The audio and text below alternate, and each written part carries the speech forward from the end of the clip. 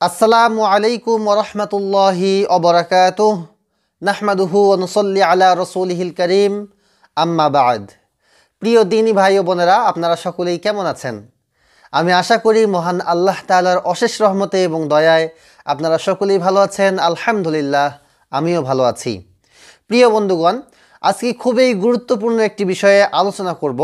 তা হলো যে জুতা পরিধান করার এবং জুতা খোলার সুন্নত তরিকা কি, সুন্নত পদ্ধতি কি?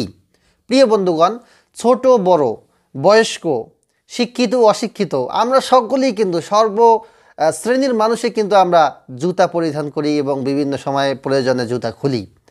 কিন্তু আপনি সত্যি জানলে অবাক হবেন যে জুতা পরিধান করা এবং খোলার মধ্যে আপনি হাজার হাজার কোটি কোটি নেকি অর্জন করতে পারবেন।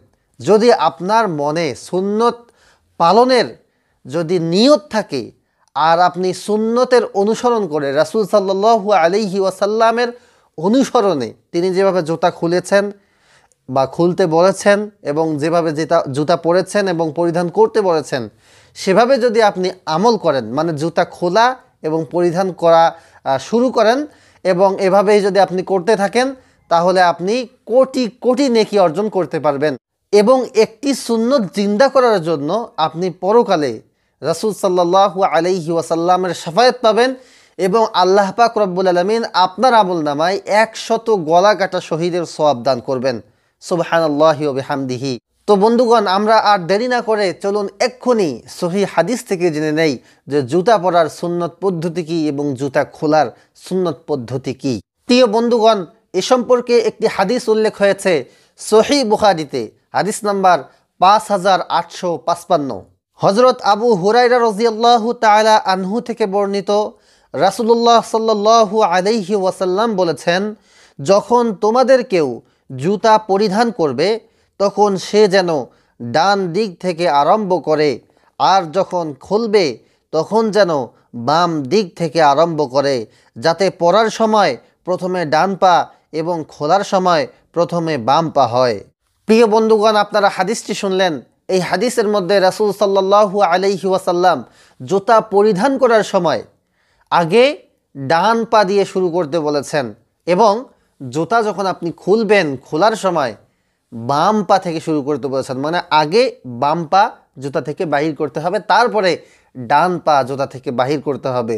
কিন্তু প্রিয় বন্ধুগণ, যেহেতু আমাদের জানা নাই, আমরা অনেক সময় কি করে থাকি? জুতা খোলার সময়ও আগে ডান পা বাহির করে থাকি। তো এটা কিন্তু সুন্নতের পরিপন্থী একটি কাজ হয়ে যায়। তো বন্ধুগণ, যেহেতু আমরা আজকে থেকে এই সুন্নত সম্পর্কে জানতে পারলাম, তাই আজকে থেকে আমরা এটার উপর আমল করা শুরু করব।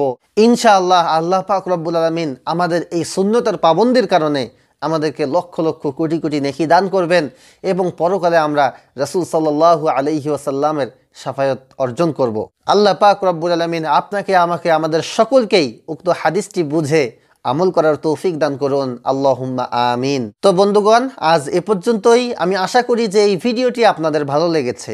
যদি ভালো লাগে, তাহলে ভিডিওটি আপনার বন্ধু বান্ধবদের সঙ্গে শেয়ার করে দিন, সকলের সঙ্গে শেয়ার করে দিন, যাতে করে সকলেই এই সুন্নতগুলি সম্পর্কে জানতে পারে। আর আপনি যদি অনলাইন মাদ্রাসার নতুন দর্শক হয়ে থাকেন, তাহলে অনলাইন মাদ্রাসার সকল ভিডিওগুলো দেখতে থাকুন। ইনশাআল্লাহ ইসলাম সম্পর্কে অনেক কিছু জানতে পারবেন, শিখতে পারবেন। আর আপনি যদি নিয়মিত আমাদের সকল আপডেট পেতে চান, সুন্দর সুন্দর দোয়া, হাদিস, মাসলা, মাসাইল সম্পর্কে জানতে চান, তাহলে আমাদের অনলাইন মাদ্রাসা চ্যানেলটি সাবস্ক্রাইব করুন।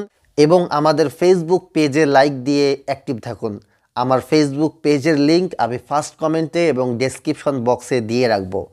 তো বন্ধুগণ, আল্লাহ চাহে তো দেখা হবে পরবর্তী কোনো একটা ইসলামিক ভিডিওতে। সেই পর্যন্ত আল্লাহ তালা সকলকে ভালো রাখুন, সুস্থ রাখুন এই প্রত্যাশায় আজকের মতো বিদায় নিচ্ছি। আল্লাহ হাফেজ। ওয়াসালামু আলাইকুম রহমতুল্লাহি অবরাকাতুহ مولاي صل وسلم دائما ابدا على حبيبك خير الخلق.